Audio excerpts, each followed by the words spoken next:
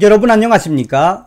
더불어민주당 대통령 후보 행세지를 했던 전과사범 이재명, 당 대표라는 방탄 갑옷까지 쳐 입은 이재명, 전 방송에서도 말씀을 해드렸습니다만 검찰이 추석 연휴에 작심을 하고 이재명 기소에 대한 충격적인 증거들을 터뜨렸죠.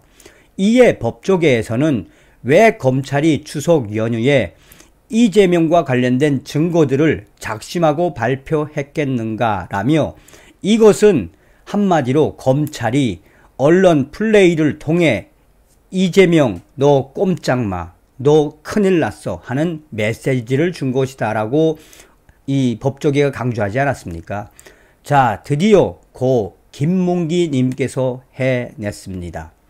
검찰이 이번에 고 김문기 님과 관련된 이재명의 결정적인 증거들을 공개를 했으며 법조계는 이재명 사실상 끝났다라고 대못을 박았습니다. 고 김문기 전 성남도시개발공사 처장 결국 이재명 잡는다. 지금 현재 검찰이 추석 연휴임에도 불구하고 매일같이 이재명 관련된 증거들을 공개 발표하고 나섰다. 언론을 통해서 발표하는 것이지만 법조계는 이것은 바로 검찰이 이재명 기소 후에 재판 자신 있음을 드러내는 대목이다라고 밝히고 있다. 검찰이 추석 연휴에 고 김문기 처장의 핸드폰과 노트북을 노트북에서 증거를 찾은 것을 발표한 이후에 이번에 그 포렌식 노트북 안에는 어떤 것들이 있었는지 충격적인 증거들을 또 발표했다.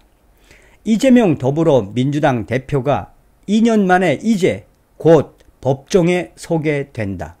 재판의 쟁점은 허위 사실을 말했는지의 여부와 고의성이 있었는지의 여부이다.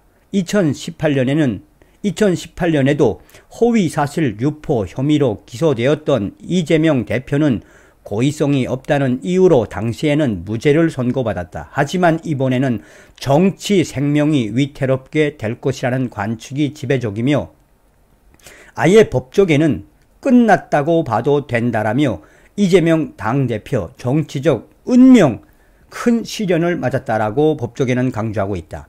지난 8일 검찰에 의해 기소된 이재명 대표가 공직선거법상 허위사실 유포 혐의를 받는 발언은 크게 세 가지이다. 첫째, 경기도지사 시절인 지난해 국정감사에서 성남시 백연동 용도 변경과 관련 국토교통부가 협박, 협박했다는 취지로 한 발언이다. 둘째는 대장동 사건 핵심 관계자인 김문기 전 성남도시개발공사 개발 1초장이 극단적인 선택을 하자 모르는 사람이라 라고 말한 것이다. 셋째는 지난해 국정감사에서 대장동 초과 이익 환수 조항 삭제와 관련 보고받지 못했다. 우선 협상 대상자 선정 이후 감사원 징계를 받을 수 있어 함부로 바꿀 수 없다고 한 발언이다. 이중 검찰이 기소, 기소한 부분은 국토부 협박 발언과 김문기 몰라 발언이다. 국토부 협박 발언은 수원지검 성남지청 형사 3부가 나머지 혐의 두 개의 혐의에 대해서는 서울중앙지검 공공수사 2부가 담당하고 있다. 서울중앙지검과 성남지청은 이재명 대표의 편의를 고려해 두 사건을 서울중앙지법에 일괄 기소했다. 법조계에서는 국토부 협박 발언보다 김문기 몰라 발언이 이재명을 침몰시키는 결정, 결정타가 될 수밖에 없을 것이다 라고 강조하고 있다.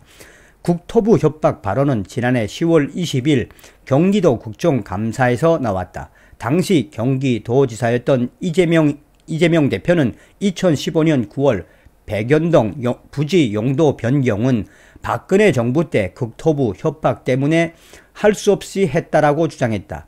검찰은 당시 공문과 담당 공무원 등 관련자 조사 결과 당시 성남시가 국토부로부터 4단계 정상량 용도 변경 요청 사, 요청을 받은 사실, 사실 자체가 없으며 성남시의 자체 판단이라고 봤다. 국토부가 성남시에 공문을 두 차례 보내기는 했지만 민간의 부지를 매각하기 위한 협조 차원에 불과했다는 것이다. 대놓고 이재명 대표가 국토부가 시켰다고 거짓말을 한 것이다. 민주당은 꼬투리 잡기식 정치 탄압이고 탄압이라고 주장한다. 일개 성남시장 이재명이 국토부 공문을 수차례 받았다는 사실 자체가 압박으로 느껴질 수 있다는 논리를 펴고 있는데 이 또한 황당한 논리이다. 게다가 이재명 대표가 2018년 TV 토론 중 형을 강제 입원시키려 한 적 없다는 허위 없다는 허위 발언으로 기소됐다. 어, 기소됐다가 2020년 대법원 무죄 판결을 받았다는 사실도 적극 부각시키고 있다. 당시 TV 당시 대법원은 TV 토론에서 상대방이 제기한 위혹에 답하는 과정에서 돌발적인 발언을 했다는 취지로 무죄 판결을 내렸다. 제한된 시간 안에 즉흥적으로 이루어지는 TV 토론회의 특성도 고려했다는 것이 대법원의 판단이었다. 여기까진 좋았겠지 이재명. 하지만 법조계에서는 TV 토론과 국정감사는 그 자체 무기감부터 다르다라고 주장하고 있다. 당시 민주당 대선 후보로 확정된 이재명 대표는 도지사 사퇴까지 미루며 국정감사에 임했다. 대장동, 백현, 대장동, 백현동과 관련해 세간에 떠돌던 여러 의혹을 해명하기 위해 사전에 철저히 준비, 준비했을 것으로 관측된다. 그런 중요한 자리에서 이재명이 국토부 협박 발언이 나온 것이다. 돌발적인 발언으로 인한 말 실수로 보기 어려운 대목이지만 민주당은 같은 논리로 적극 옹호에 나서고 있는 실정이다. 그러나 가장 중요한 것은 지금부터이다. 검찰, 김문, 김문기 몰라 발언, 고의성 입증에 자신감 보여. 반면 검찰은 이재명 대표의 김문기 몰라 발언에 대해서는 혐의 입증을 완전히 자신하고 있다. 이재명 대표는 대선을 앞둔 지난해 12월 SB, SBS와의 인터뷰에서 대장동 개발 사업 비리 의혹과 관련해 참고인 조사를 받다가 극단적 선택을 한 김문기 처장을 알았느냐라는 질문에 하위 직원이라 시장 재직 시절에도 시절에는 몰랐다. 도지사가 돼 재판을 받을 때 알게 됐다라고 말했다. 한 시민단체는 이재명 대표의 이 발언을 두고 이재명이가 성남시장 때인 2015년 1월 2015년 1월 9박 11일 일정으로 김문기 처장과 호주, 뉴질랜드 출장을 다녀왔는데 그때 김문기 처장이 이재명 대표를 수행했다라며 명백한 허위 사실이라며 검찰에 이재명을 고발했다. 검찰은 이재명 대표가 변호사로 활동하던 시절부터 김문기 처장과 이미 아는 사이였던 것으로 보고 있다. 검찰의 핵심 관계자는 김문기 처장의 유족 등을 상대로 압수수색 등 강제 수사를 진행했으며 김문기 처장 김문기 처장이 생전에 사용하던 휴대전화와 개인 노트북 등을 포렌식해 결정적 증거들을 확보했다라고 검찰 관계자는 이야기했다. 그 전에 검찰은 김문기 전 처장의 휴대전화와 노트북을 이 노트북에서 확실한 결정적 증거가 나왔다고 나왔다고 발표한 적은 있지만 이번처럼 결정적 증거를 공개한 것은 처음이다. 검찰은 고 김문기 처장의 노트북과 핸드폰 포렌식 수사 포렌식 이 포렌식 통을 통한 증거에서 다음과 같은 증거들을 찾아냈다.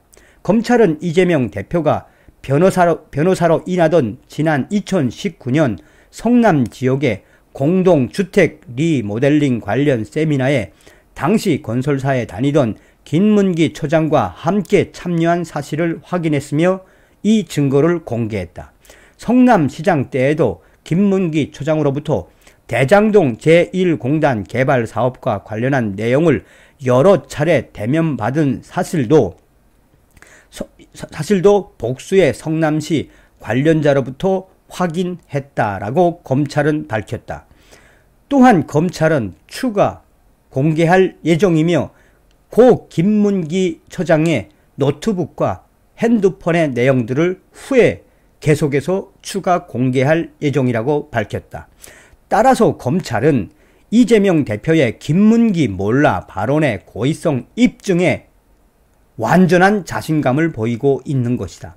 대선 국면에서 대장동 개발 사업이 주요 쟁점으로 떠오른 데다가 김문기 처장이 극단적 선택을 하면서 논란이 더 커졌고 이재명 대표로서는 대장동 사업과의 관련성을 차단할 필요가 있어 김문기 처장과의 관계성을 부인한 것이라고 검찰은 판단하고 있다.